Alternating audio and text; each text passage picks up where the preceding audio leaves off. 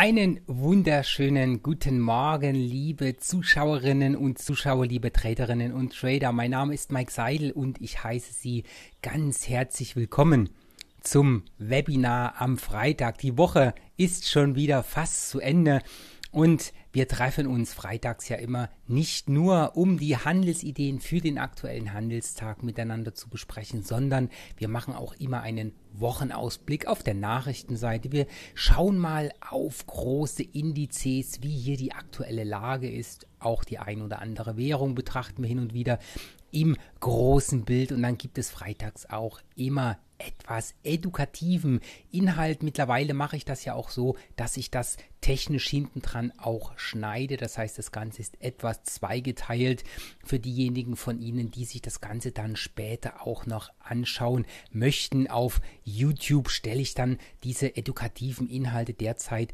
in die Playlist ein. Das heißt, wenn Sie mögen, abonnieren Sie ruhig den YouTube-Kanal von Tickmill. Einfach auf YouTube ähm, Tickmill suchen und dann finden wir hier die Ausbildungsvideos für ihren Erfolg und dort stelle ich dann immer den entsprechenden edukativen Teil auch ein, dass sie auch diesen Teil separat von den Handelsideen miteinander betrachten können. Das Ganze hier dann auch immer am Freitag kurz nach dem Webinar auf YouTube eingestellt für Sie zum Anschauen. Und dann geht es heute natürlich wieder um den Blog. Den Blog finden Sie, das möchte ich hier an dieser Stelle auch noch einmal zeigen, immer jeden Morgen so gegen acht, wenn Sie nicht auf Facebook zuschauen, sondern ganz normal über Internetseiten im Blog von Tickmill. Das heißt, gehen Sie ruhig auf tickmill.de, da finden Sie viele Informationen über den Broker mit guten Konditionen und einer Menge äh, Symbolen auch zum Traden und natürlich auch den Blog-Eintrag. Und wenn Sie auf Blog klicken, dann kommen Sie direkt hier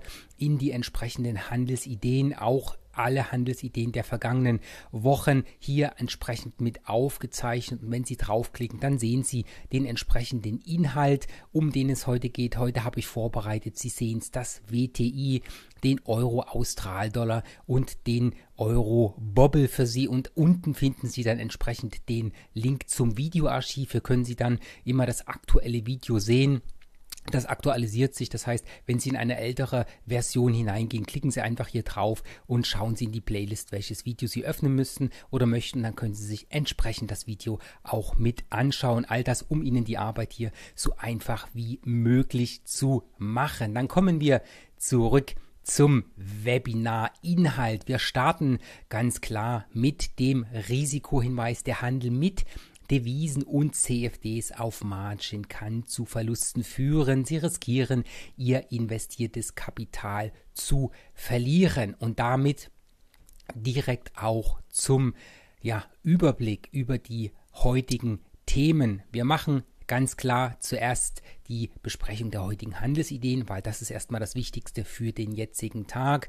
Ähm, auch die Nachrichten spielen hier eine Rolle. Dann machen wir den Nachrichtenwochenausblick. Was wird die nächsten Tage auf uns zukommen? Was kann die Märkte hier bewegen?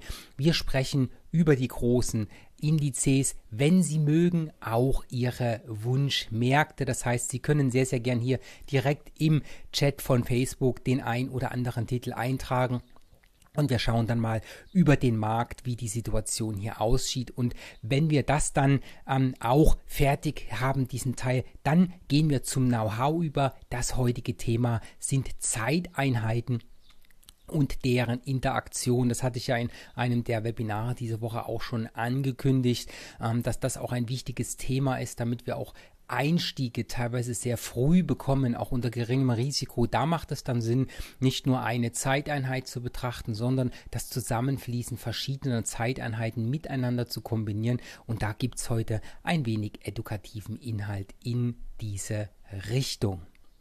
Was geht heute? Wir sehen es, die Tagesnachrichten. Einige gibt es dann doch. Wir haben um 10 Uhr einen sehr, sehr, sehr wichtigen Termin hier in Deutschland und zwar den IFO Geschäftsklimaindex. Der wird um 10 Uhr veröffentlicht. In den USA gibt es dann um 14.30 Uhr die Auftragseingänge für langlebige Güter hier die Kernrate für den Monat April. Um 15.20 Uhr spricht der FED-Vorsitzende ähm, Paul. Das mal die wichtigsten ähm, Nachrichten für den heutigen Tage. Es gibt dann hier am Vormittag, Sie sehen es auch noch, den Geschäftserwartungsindex, die aktuelle Lageeinschätzung für Deutschland für den Monat von, ähm, von April. Das, ist, äh, das sind wichtige Informationen.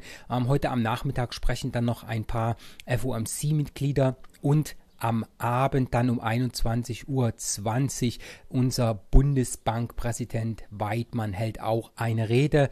Weiterhin am Abend, wie jede Woche Freitag, gibt es dann ähm, die Daten für den COT-Report, werden hier veröffentlicht um 21.30 Uhr deutscher Zeit. Da können Sie die wichtigsten Informationen der großen Händler hier aus diesen Daten herausziehen und vielleicht den ein oder anderen ähm, Content für Ihr Trading mit den entsprechenden Werten auch herausnehmen, weil diese COT-Reports, die zeigen uns ja an, was das Big Money macht, äh, wie sie sich positioniert haben und das ist immer wieder auch einen Blick wert, diese Daten ins Trading, gerade im Research mit ähm, einzubeziehen. Das ist häufig nicht für die kleinen Zeiteinheiten geeignet, sondern eher für die mittelfristigen ähm, ähm Zeiteinheiten, aber gute Informationen, die auch ordentlich für Bewegung sorgen können. Und damit würde ich vorschlagen, gehen wir direkt in die Charts hinein. Und zwar fangen wir einfach einmal an mit dem Ölpreis. Das ist auch der erste Titel, den ich für Sie vorbereitet habe im heutigen Blog-Eintrag. Das hatten wir ja vorhin schon gesehen. Der Ölpreis. Wir haben ihn hier der Ölpreis ist in diesem Jahr schon sehr, sehr schön angestiegen. Ähm, wir hatten hier das Tief entsprechend bei 58 Dollar pro Barrel Öl fürs WTI in etwa. Wir sehen hier im Tag einen sehr, sehr schönen Aufwärtstrend, der schöne, klare Bewegungen und schöne, klare Korrekturen uns auch immer wieder gezeigt hat. Und wir haben im Verlaufe dieses Aufwärtstrends auch immer wieder Situationen gehabt, wo wir innerhalb der Korrekturen, wie hier beispielsweise ähm, der Korrekturbewegungen ähm, oder auch der Bewegungen an sich hier oben Trends, Untertrends gebildet haben. Und hier habe ich das für Sie mal versucht, etwas zu skizzieren, das der letzte Teil hier sozusagen, was ich hier in blau eingezeichnet habe, das ist die Bewegung des schwarz markierten Trends sozusagen und diese Bewegung hat einen Untertrend gemacht und durch die negativen Nachrichten vom Öl, ähm, vom Ölreport diese Woche Mittwoch ist der Markt jedoch deutlich in die Korrektur hineingelaufen. Wir sehen es, dieser blau ähm, eingezeichnete Bewegungstrend ist mittlerweile so weit korrigiert, dass wir am, am Korrekturtief um die 70 Dollar unten angekommen sind. Wir können mal kurz drauf schauen, wo das Tief hier war. Wir hatten es hier 70,20 Dollar. Ähm, das ist ein Bereich, wenn dieser Trend bricht, ähm, dann ist das jetzt nicht schlecht für diesen großen Aufwärtstrend, den wir hier haben. Aber wir sehen halt, dass dann dieser Bewegungstrend auf Tagesbasis gebrochen wurde. Und das kann uns dann entsprechend in die Situation führen, wenn es hier tatsächlich zu einem Bruch kommt, dass wir tiefere Preise sehen. Die nächste Unterstützung oder das nächste Unterstützungslevel, was wir hier dann haben, wäre erst erstmal dieser Bereich des Ausbruchs hier um die 69,50 und dann kann der Markt natürlich noch deutlich tiefer korrigieren. Also ohne diesen Aufwärtstrend hier ähm, kaputt zu machen, hätte der Markt ohne weiteres die Möglichkeit, ähm, bis hier unten rein in diesem Bereich aus Trendsicht zu laufen. Das ist das aktuelle Trendtief oder Korrekturtief des schwarz markierten Aufwärtstrendes. Bis dahin kann der Markt laufen.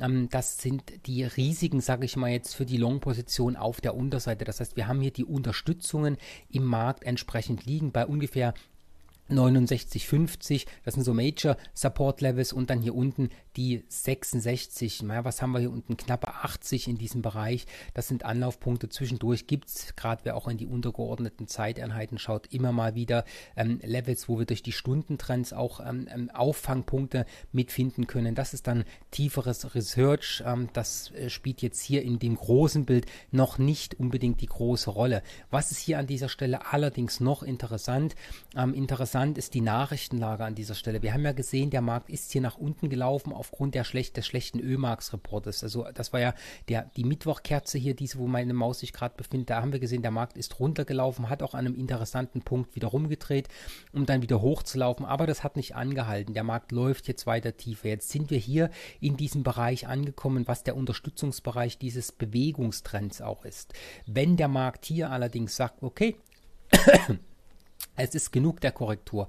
Wir laufen wieder nach oben. Dann hätte das natürlich die Aussicht, dass wir im Stundenchart ähm, hier einen Trendwechsel sehen würden. Der ist jetzt noch nicht da. Wichtig ist halt, wenn man sich das Ganze auf die Watchlist sozusagen zum, zum Umdrehen sieht, dann brauchen wir hier in der Stunde natürlich einen Markt, der einen Aufwärtstrend macht. Und wenn das passiert, wenn sich hier entsprechend in der Stunde beispielsweise ein Aufwärtstrend bildet, ähm, der diese, diesen, diesen Korrekturrutsch rausnimmt, ähm, sozusagen, dann hätten wir einen Aufwärtstrend Aufwärtstrend. Das wäre dann ein, eine Indikation für eine Kursumkehr erstmal in diesem Bereich. Und da wäre es dann so, dass wir hier entsprechende Anlaufpunkte auf der Oberseite erst einmal sehen würden. Ähm, und die wären dann zu sehen hier in den Bereichen, die ich Ihnen noch gleich einzeichne, um die Hochs, um die entsprechenden Punkte, die wir in, in dieser Abwärtsbewegung hier nach unten sehen, ähm, wo der Markt einfach auch immer mal gehalten hat. Das heißt, die großen ähm, Punkte äh, der, der Korrektur hoch sozusagen im, im entsprechenden Abwärtstrend, das sind dann die nächsten Anlaufpunkte äh, sozusagen, die der Markt uns hier liefert, wo wir in die Preisranges hineinlaufen können auf der Oberseite. Ähm, hier ist noch ein etwas untergeordnetes, da hat sich ein untergeordneter Abwärtstrend gebildet. Das wäre dann auch entsprechend noch ein weiterer Anlaufpunkt. Dazu müsste es allerdings dazu kommen, dass der Markt hier rumdreht. Das ist doch die Handelsidee, die ich im Blog-Eintrag heute mitgeschrieben habe. Das heißt, hier sollte es in diesem Support-Bereich zu einem Abprall kommen. Wir hatten das hier unten ja auch schon mal gehabt.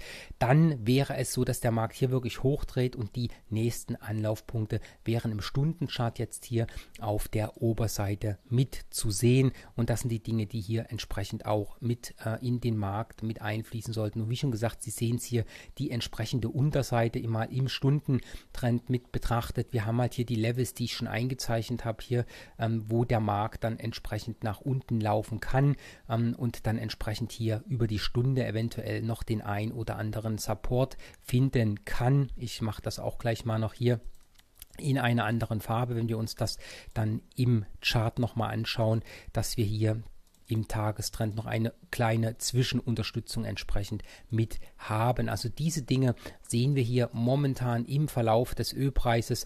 Ähm, das heißt, schauen Sie, die Stunde lief bis hier runter, aber wenn es bis hier runter läuft, so weit wollte ich gar nicht zurückschauen, dann wäre halt auch dieser Aufwärtstrend gebrochen. Ähm, ich äh, bin mir nicht sicher, ob das überhaupt passieren wird, ähm, aber momentan spielt der Markt halt ähm, ein Korrekturbild. Das Ganze ist noch ein bisschen gespickt äh, mit dem nächsten OPEC-Treffen am 22. Juni, wenn ich das noch richtig in Erinnerung habe, gibt es ein weiteres OPEC-Treffen mit offiziellen Zahlen. Man munkelt im Hintergrund, dass, ähm, dass, dass Russland momentan mit der OPEC ähm, spricht, um ähm, hier Förderkürzungen aus Venezuela etwas zu kompensieren. Stellt sich halt einfach nur die Frage, ob ähm, die Rohöl exportierenden Länder überhaupt gewillt sind, den Ölpreis entsprechend aufzufangen, ähm, sondern sie können ja einfach mit dem Öl, was sie produzieren, mit höheren Kosten, mit höheren Preisen mehr Geld verdienen. Also es wird sich zeigen, ähm, was hier entsprechend äh, die OPEC am 22. Juni auch noch sagen lässt. Es bleibt momentan spannend. Die Unsicherheit ist da. Sie sehen es, wir haben momentan mal wieder eine schöne Korrektur. Und was daraus wird, wir werden es sehen. Wie schon gesagt, kurzfristig hier das Unterstützungslevel. Wir werden sehen, ob es hält. Wenn nicht, dann sind die nächsten Anlaufpunkte auch schon ganz klar hier entsprechend mit fixiert und in der Handelsidee auch mit eingeplant. Kommen wir zum Währungspaar Euro-Austral-Dollar. Das ziehe ich auch wieder gleich mal in den Tageschart hinein. Die Situation, die ich für Sie hier beleuchtet habe, Sie sehen es auch schon eingezeichnet, ähm, ist folgende. Wir haben hier entsprechend im Markt eine Situation gehabt, in der die Preise in den letzten Tagen doch sehr, sehr, sehr stark, ohne, ähm, sage ich mal, tagesmäßig ordentliche Umkehren zu sehen. Das heißt, wir haben immer eigentlich starke rote Kerzen gesehen. Hier zwischendurch äh, mal die ein oder andere Kerze mit Unentschiedenheit, äh, aber wo der Markt einfach weiter ähm, nach unten gefallen ist, ohne dass mal sowas wie hier eine, eine, eine Korrektur entsprechend stattgefunden hat.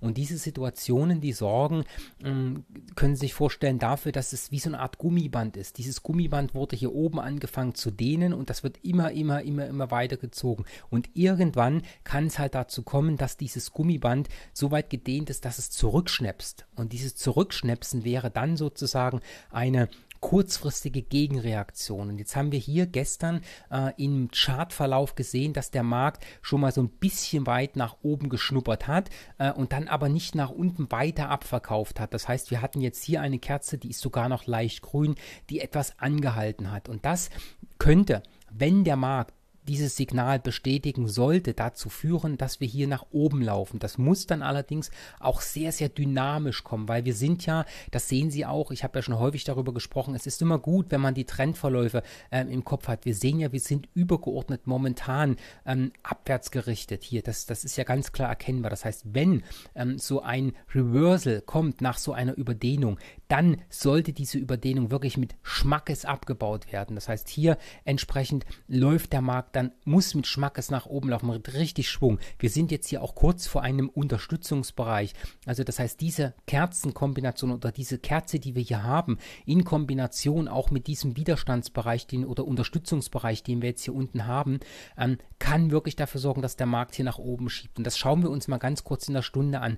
Was muss in der Stunde passieren? Wir brauchen in der Stunde sozusagen die Situation, dass der Markt den Weg nach oben findet. Das, was wir hier gestern gesehen haben, dieser erste Schub, das ist die Kerze die entsprechend gestern entstanden ist. Der Markt wollte schon mal hoch, hat dann wieder runtergedreht. Aber und das ist die gute Nachricht an dieser Stelle, er hat hier keine neuen Tiefs gemacht und er hat dieses Tieflevel mittlerweile schon sehr, sehr, sehr oft getestet.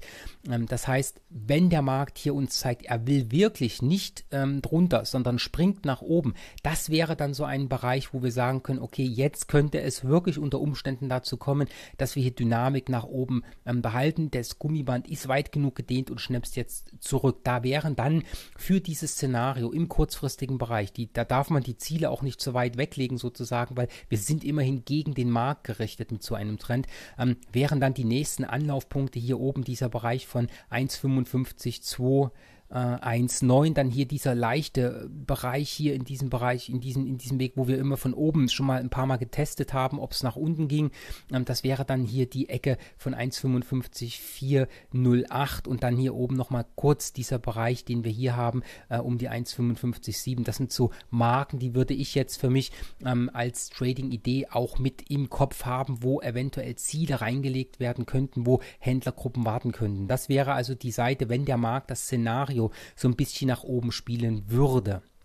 Auf der anderen Seite das ist die zweite Idee. Sie wissen, ich baue da gerne zwei Konstrukte. Es kann A oder B passieren. Für den Fall B, dass das Gummiband hier an dieser Stelle ähm, reißt, dann wäre natürlich starke Abwärtsdynamik zu erwarten. Das heißt, hier wäre es dann möglich, dass der Markt nach unten rutscht. Wir haben hier relativ nah ähm, auch den nächsten Unterstützungsbereich mit liegen. Das heißt, für das ganz kurzfristige Trading, diese Seitwärtsrange, die wir hier entsprechend haben, die könnte tatsächlich auch nach unten aufgelöst werden. Das heißt, hier, ich spreche da von dieser Range, die wir hier hier in diesem Bereich haben, wo der Markt jetzt äh, sozusagen schon seit einiger Zeit einfach nur, seit vielen Stunden einfach nur seitwärts entsprechend läuft. Wenn diese Range nach unten gebrochen würde, dann könnte das ähm, doch für kurzfristigen Schub nach unten in das nächste Unterstützungslevel sorgen. Das heißt, das ist für das ganz kurzfristige Intraday-Trading doch ein, ein, ein, ein interessanter Markt. Muss man halt aufpassen, dass diese Range entsprechend hier nicht zu breit wird, weil das darf hier entsprechend nicht passieren, weil dann kostet ähm, das häufig zu viel Raum und die Trades gehen manchmal schief. Aber wenn es dazu kommt, dann wäre hier erstmal der nächste Bereich, wo wir reinlaufen könnten. Natürlich hier diese von mir eingezeichnete Unterstützung. Ähm, und wenn wir dann die Abwärtsdynamik weiterhin bekommen, dann sehen Sie, hier ist unter dieser Unterstützung momentan nicht wirklich viel.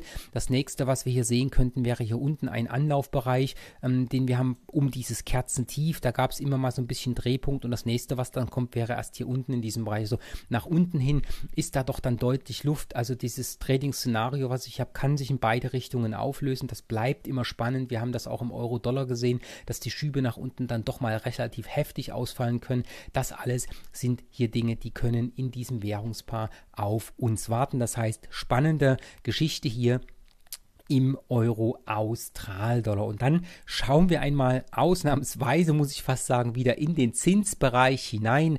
Ähm, ich habe für Sie heute mal den Euro-Bobble mit auf der Uhr, auch hier im Bereich des Tagescharts. Was hat mich gestern ähm, interessiert äh, beobachten lassen? Es hat mich interessiert beobachten lassen die Tatsache, ähm, dass wir hier im Chart eine Situation haben, dass der Markt von hier unten rauskommend mit einem sehr, sehr starken Schub nach oben direkt erstmal diesen untergeordneten Abwärtstrend gebrochen hat Also diesen vorherrschenden Abwärtstrend, den wir hier hatten, das ist Nummer eins. Und Nummer zwei, er ist halt ohne irgendwelche Pausen direkt hier oben ähm, in diesen Hochbereich reingelaufen. Das Hochbereich hier entsprechend aus dem März, von Ende März, um die 131, knappe 9, was wir hier oben im Hoch hatten. Einfach reingeschossen, ohne irgendwelche Pausen. Ja. Da gibt es jetzt hier an dieser Stelle wieder dieses Spannungsfeld, dieser Widerstandsbereich hier oben. Der hat ja hier im Mai, äh, März, Ende März, Anfang April schon mal dafür gesorgt, dass die, dass die Preise eine Weile hier oben drin gehalten haben, eins, zwei, drei Tage und danach ist der Markt deutlich nach unten gekommen. Dieses Szenario kann jetzt hier auch wieder anfallen. Das heißt, hier gibt es wieder zwei Strategiemöglichkeiten. Die Strategie Nummer eins oder das Szenario Nummer eins ist, dass wir einen Abprall bekommen. Das wäre dann die Situation, wie wir sie hier hatten. Szenario Nummer zwei wäre, dass der Markt doch deutlich nach oben ansteigt und dann haben wir hier, ich mache mal ganz kurz das Marktübersichtsfenster weg, dass wir etwas mehr Historie sehen. Wenn der Markt nach oben schiebt, haben wir hier natürlich auch noch ein paar Anlaufpunkte im Markt, die wir sozusagen hier abfrühstücken könnten, wo der Markt reinlaufen könnte auf der Oberseite. Das heißt, hier bleibt es sehr, sehr interessant. Bietet der Markt die Gelegenheit, dass wir nach oben hinauslaufen, ja, dann wäre es tatsächlich so, dass wir diese Bereiche hier oben im mittelfristigen Markt, diese Hochpunkte, die wir hier hatten, um die 132, 1, 2, 3, hier oben haben wir noch ein liegen, 132, 228 und dann dieses Level hier oben von 132, ähm, irgendwas um die 5 und schauen Sie hier oben haben wir schon die nächsten. Also da kann es durchaus doch zu etwas Dynamik, zu etwas starker Aufwärtsbewegung kommen, wenn der Markt wirklich den Weg findet, über diesen Hochbereich hier oben hinaus zu drehen und dann entsprechend ja die Setups in diese Richtung auch gestalten zu lassen. Also hier das wäre das Szenario entsprechend für den Ausblick mit ähm, die Sichtweise auf den Chart, wer kauft entsprechend nach uns, weil wenn wir eine Long-Position verkaufen wollen, brauchen wir ja Käufer und hier haben wir dann tatsächlich doch auch einige Marken im Chart liegen, äh, in die, der, in die der, der Trend sozusagen hier hineingeschoben werden kann, also dieser starke Move. Das wäre die eine Geschichte. Das äh, ist Punkt 1. Wenn wir einen Abprall bekommen sollten, ähm, dann ist natürlich ein Blick in die Unterseite interessant und das wäre dann hier tatsächlich der Bereich, den wir hier unten liegen hatten. Und da, Sie sehen es auch schon in den äh, Magenta markierten Bereichen, da habe ich mal im Stundenchart geschaut, wo hier interessante Anlauflevel werden. Das heißt, wenn der Markt tatsächlich schwach werden sollte, ähm, dann gäbe es die nächsten Anlaufpunkte hier unten in diesen Bereichen. Hups, das war der falsche Knopf. Äh, in diesen Bereichen von 1 äh, von 131 äh, 484 beziehungsweise dann hier unten 131 2 3, 4. Hier gab es immer mal so Drehpunkte, bevor es dann nach unten geht. Das Ganze, wie schon gesagt, habe ich für Sie aus dem Stundenchart herausgesucht. Ich zoome den für Sie auch noch mal kurz ein bisschen kleiner. Sehen Sie, wir haben da diesen Aufwärtstrend, der schön nach oben gelaufen ist, wo es immer wieder die Korrekturtiefs entsprechend gab. Und das sind dann natürlich die Anlaufpunkte, die wir hier nach unten sehen. Und wenn der Markt beispielsweise hier oben dann Umkehrzeichen geben sollte, dann wäre das die Situation. Ich skizziere das mal ganz kurz. Das würde dann entsprechend so aussehen. Wir hatten hier eine Bewegung, wir hatten jetzt hier eine Korrektur und wenn der Markt jetzt hier nach dieser aktuellen Bewegung beispielsweise umdreht ähm, und dieses Level hier bricht, das wäre dann das erste Indiz dafür, dass der Markt da oben doch Schwäche zeigen sollte und wenn es dann hier entsprechend zu den Bewegungen nach unten kommt, das heißt der Markt hier ähm, nach unten schiebt und äh, wir die Korrektur in diesem Bereich auch sehen, ähm, dann wäre es hier so, dass wir nach unten laufen können und die Anlaufpunkte dann entsprechend hier im Chart sehen. Im Stundenchart gibt es dann doch den ein oder anderen Hinweis, wo gute Anlaufmöglichkeiten hier für Sie im Chart gefunden werden können. Das also zum äh, ja, Euro-Bobble-Chart, die Handelsidee hier basierend auf dem Tageschart für Sie auch vorbereitet. Wie schon gesagt, wenn Sie Fragen haben, scheuen Sie sich nicht, stellen Sie ruhig die Frage im Chat oder aber stellen Sie den Wunsch nach dem ein oder anderen Chart, den wir auch betrachten können. Und damit gehen wir von den Tagesnachrichten und den aktuellen äh, Handelsideen auf die wichtigen Termine in der kommenden Woche. Sie sehen es aufgeführt von mir. Am Montag ähm, ist eine äh, ja, der weltweit größten Börsen, ähm, also die US-Börse, was ja die Leitbörse für die Welt entsprechend auch ist, geschlossen. Da haben wir den Memorial Day. Da gibt es also von der Seite her keinen Handel. Ich bin mir auch relativ sicher, das werden wir dann auch bei den Bewegungen in den Währungen und Indizes sehen, dass da bestimmt relativ wenig los ist mit verglichen mit der Zeit, wo die US-Händler auch am Markt mit sind. Am Dienstag gibt es dann um 16 Uhr ähm, das CB Verbrauchervertrauen für den Mai aus den USA. Am Mittwoch gibt es die Arbeitslosenzahlen in Deutschland um 10 Uhr, um 14.15 Uhr dann ähm, die gleichen Daten aus den USA, den ATP Beschäftigungsindex sozusagen.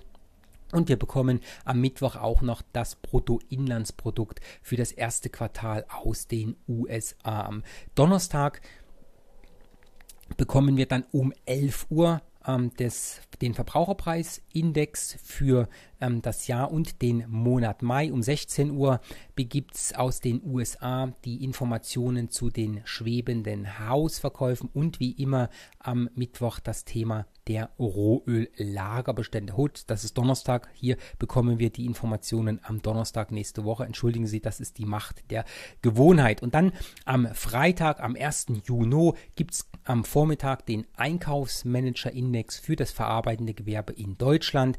Am Nachmittag Daten aus den USA. Hier geht es um die Beschäftigung außerhalb der Landwirtschaft, die Arbeitslosenquote und dann um 16 Uhr den ISM-Einkaufsmanager-Index für das verarbeitende verarbeitende Gewerbe. Also Sie sehen, auch in der nächsten Woche wird es von der Nachrichtenseite her nicht langweilig. Es gibt also genügend Dinge, die wir hier im Markt sehen und die für ordentlich Bewegung in den ja, Charts der Indizes Währungen und Rohstoffe sorgen können. Und damit geht es wieder zurück in die Charts und ich werde für Sie jetzt mal noch einen Blick in den ein oder anderen Index werfen.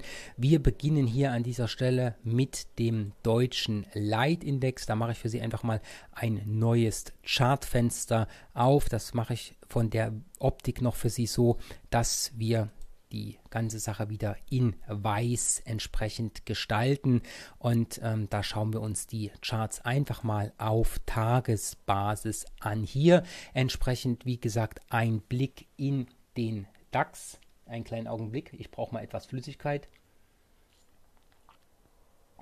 Nicht, dass die Stimme versagt. Das wäre etwas ungünstig. Okay, also, was haben wir hier im DAX? Sie sehen selbst, ähm, wir haben hier, äh, wie ich das auch beim letzten Mal, ähm, als wir den DAX auch analysiert haben, eine hervorragende Situation gehabt. Ich mache mal ganz kurz die Linie hier wieder schwarz. Da ist der Kontrast etwas besser.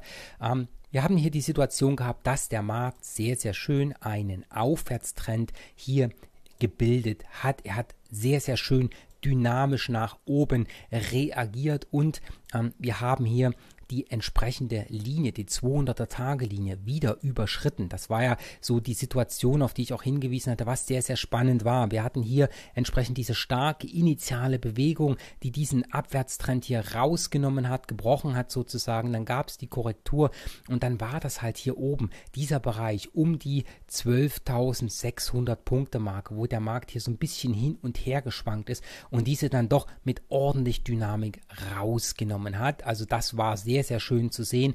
Und jetzt sehen Sie selbst, haben wir hier einige Tage gehabt, wo der Markt doch deutlich tiefer runtergelaufen ist. Was wir hier ähm, noch gesehen haben, und das ist ein, das, dass wir etwas immer im Blick haben sollten, ähm, wenn wir hier Kombination von Trends innerhalb einer Zeiteinheit sehen. Das, sehen wir ja jetzt an dieser Stelle. Ich markiere Ihnen das auch gleich mal. Ich mache die Farbe mal blau. Ich zeichne mal den Bewegungstrend entsprechend für Sie noch mit ein. Ähm, heißt, wir haben hier untergeordnet einen Bewegungstrend gehabt oder beziehungsweise ja doch gehabt, kann man sagen. Äh, und dieser Trend wurde ähm, durchbrochen. Das heißt, hier ähm, am, am, am, Mittwoch und am Donnerstag sind die Kurse deutlich ähm, nach unten gelaufen, deutlich unter diesen Tiefpunkt auch drunter gegangen. Das heißt, hier dieser Bewegungstrend wurde erst einmal gebrochen ähm, und es ist jetzt hier nicht ausgeschlossen, dass der Markt die 200er Tagelinie noch einmal testet. Ähm, das sind alles Vermutungen, das ist ganz klar. Ähm, das muss man immer sehen. Das hat mit den Erfahrungen zu tun, ähm, die, die wir bei der Betrachtung dieses Index auch haben. Und es kommt doch immer mal wieder dazu, dass Indizes nach starken Bewegungen auch bestimmte gleitende Durchschnitte einfach mal wieder testen. Und hier ist diese Linie der, der 200er gleitenden Durchschnitt, der verläuft momentan um die 12.700er Marke. Das heißt, heißt, es kann unter Umständen passieren, dass der Markt wirklich auch bis darunter läuft. Und das wäre ja dann entsprechend auch ein Bereich hier in der Nähe ähm, dieses Ausbruchslevel. Ähm, das heißt, die 12.000er, äh, die 12.700er Marke ist erstmal ein Anlaufpunkt, die, die sollte im Optimalfall auch nicht unterschritten werden weil das der gleitende Durchschnitt ist.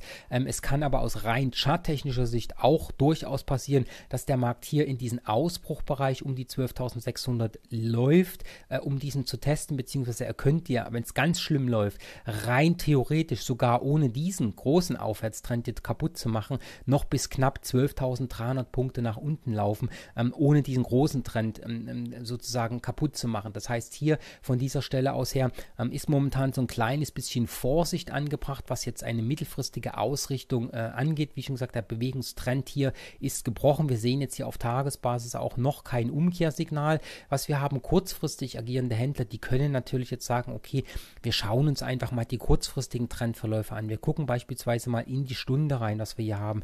Und da haben wir einen schönen Kursaufstieg oder Anstieg schon wieder gehabt nach oben. Und wenn wir jetzt entsprechend hier oben drüber laufen würden, dann wäre es ja so, dass wir hier im kurzfristigen Stundenbereich wieder einen Markt hätten, der nach oben läuft. Das wäre jetzt hier sozusagen ein Aufwärtstrend, der über entsteht, wenn wir, wenn wir wirklich hier drüber ähm, laufen. Ähm, rein, ähm, sage ich mal, technisch gesehen das Ganze im Zusammenfluss wäre das dann natürlich jetzt hier ähm, der, der entsprechende Abwärtstrend und das wäre ein untergeordneter Aufwärtstrend. Das heißt, Entwarnung ist hier vom Prinzip her erst dann gegeben, wenn wir hier oben über dieses Level drüber laufen und diesen Stundenabwärtstrend ähm, kaputt machen, sozusagen, der hier da ist. Bis dahin ähm, ist das alles untergeordnet Korrektur Struktur muss man sehen, was darauf hinläuft, was daraus wird. Also das bleibt auf alle Fälle spannend. Im großen Bild, wie schon gesagt, denke ich, ist alles gesagt. Der Markt hat hier diesen Bewegungstrend gebrochen, hat ihn rausgenommen und mal läuft momentan hier etwas äh, nach unten. Wie schon gesagt, Fokus ist diese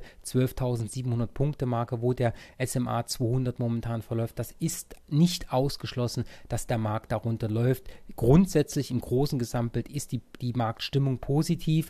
Das heißt, die Wirtschaft funktioniert ja auch relativ gut. Ähm, wir haben gute Nachrichten aus, ähm, aus Asien bekommen, ähm, was, was das Thema Handelsbeziehungen angeht. Also all diese Dinge. Es gibt wirklich schöne positive, positive Bilder. Die Wirtschaft läuft vernünftig. Das sind Sachverhalte, die sollten mittelfristig auch für weiter steigende Kurse sorgen. Ähm, dann gibt es halt immer so geopolitische ähm, Dinge, die wir hier mit beleuchten und wo der Markt einfach ähm, ja, drauf reagiert. Und da kommt es halt immer mal wieder dazu, das muss man als Händler auch akzeptieren, dass der Markt auch mal wieder korrigiert. Und das sind dann hier diese heftigen Korrekturen, die wir hier sehen. Das alles hier im DAX. Wenn wir uns das Ganze ähm, mal über den großen Teich anschauen, ähm, im SP 500 beispielsweise, dann sehen Sie, das Bild sieht hier komplett anders aus. Komplett. Ähm, und zwar haben wir hier eine Situation, ähm, dass der Markt eine, eine, eine Formation äh, einer so einer, so einer Seitwärtsbewegung hier momentan hat. Das heißt, das ist ein, ein, ein, ein doch relativ äh, bullisches Szenario, das wir hier haben. Wir haben hier nach dieser schönen, starken Aufwärtsbewegung momentan im S&P 500 eine Seitwärtsbewegung, das heißt eine Korrektur über die Zeit. Das Korrekturmuster ist dann sozusagen eine bullische Flagge in diesem Bereich. Wir schwanken hier irgendwo zwischen 2740 und äh, 2700 Punkten so ein bisschen hin und her und wir sehen auch immer wieder, dass die Händler von unten nach oben kaufen. Das heißt, immer wenn wir unten in diesen Bereichen hier ankommen, schiebt es den Markt wieder nach oben. Da greifen die Händler zu, beide Dippen nennt man das.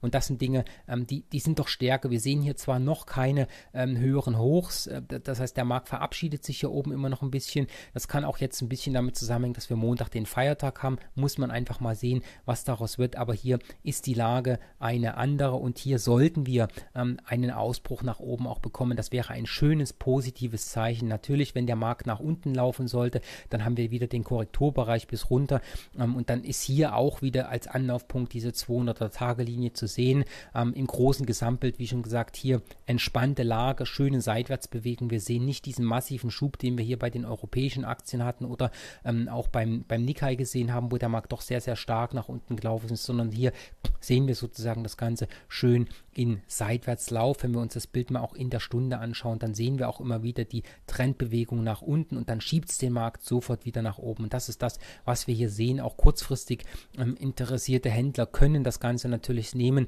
für dynamische Bewegungen. Wenn wir intraday sozusagen diese Abverkäufe sehen ähm, und der Markt dann wieder plötzlich nach oben schiebt, das ist natürlich interessant ähm, hier zu sehen. Und das können wir auch immer wieder dafür nutzen, dass der Markt nach oben getradet wird im kurzfristigen Bereich. Aber hier beleuchten wir ja momentan mal das große Gesamtbild und das sieht hier in den USA doch schön positiv aus. Wir haben eine Korrektur über die Zeit seitwärts laufend. Wenn der Markt nach oben rauskommt, sind die nächsten Anlaufpunkte dann sozusagen erstmal hier äh, oben um die 2760er Marke. Dann haben wir hier noch ein paar Tageshochs stehen hier um den Bereich der 2700, was haben wir hier, 75, 80 in diesem Bereich und dann hier dieses Hoch. Wenn das rausgenommen wäre, das wäre auch wieder sehr, sehr schön ähm, und interessant zu sehen für diesen Markt hier oben. Also hier die 2800er wären dann nächste Anlaufpunkte, wenn es zum Ausbruch aus diesem bullischen Korrekturmuster hier entsprechend kommt. Man kann auch als Charttechniker hier mittlerweile eine schräge Linie in etwa drüber zeichnen, wenn man mal diese Bewegung sieht. Wir haben zwar die Ausbrüche nach unten, aber wir haben hier doch Dynamik